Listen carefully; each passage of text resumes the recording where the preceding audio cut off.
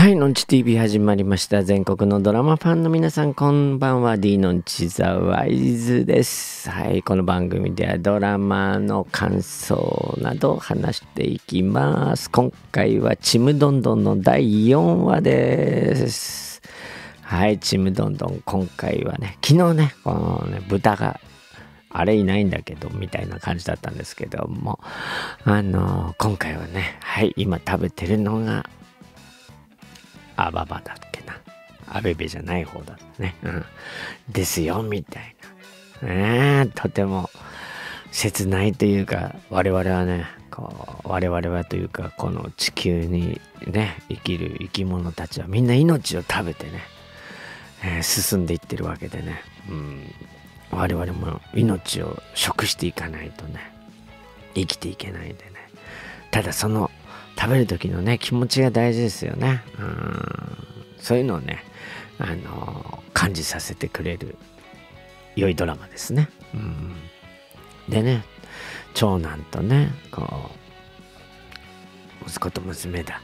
でねこう育ててねずっと育ててきてたのにね食べることになってしまって。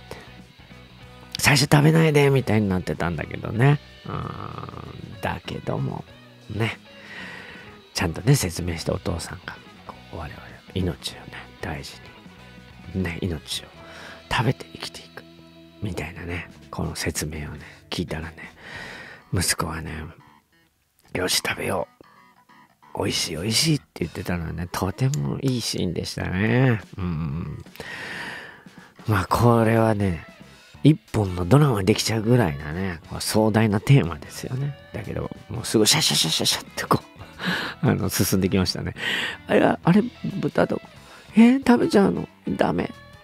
美味しいってなってすごいスピード感があってよかったですね。そしてね、一番下の娘がね、あの、アベベの方はお正月食べるのみたいなので、こうちょっとシーンとなるみたいな。なんかいい、すごいよくできた、とても素晴らしい回でしたね。うん。あとはね、こう、ポストができてね、こう、みんなでね、交換手紙の交換みたいな、ああいうのいいですね。うん。いいな。うん。そして最後は、レストランで、こう、とうとう、信子はレストランへ、みたいなね。うん。みんなで、家族みんなでレストランに行くっていう感じで今回は終わったんでね。明日はもう、みんながこう、驚くんじゃないですか。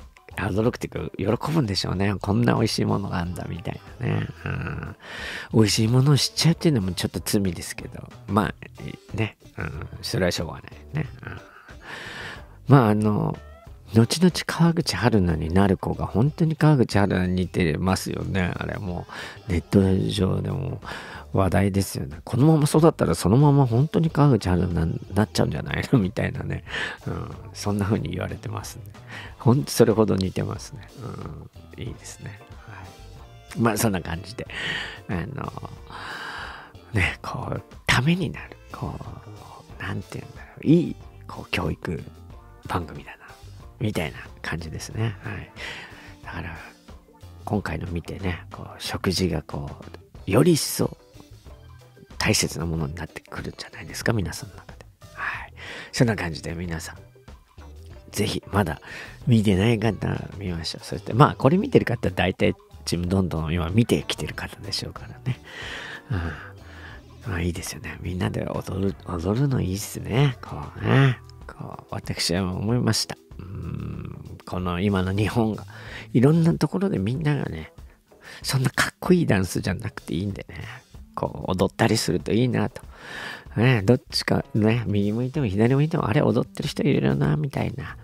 ね、そんな世の中いいんじゃないですか。ね。そしたらもう、もっと毎日がいいものになっていくんじゃないかと思います。はい。沖縄を見習っていこう。そんな感じがしました。はい。それでは、また明日、バー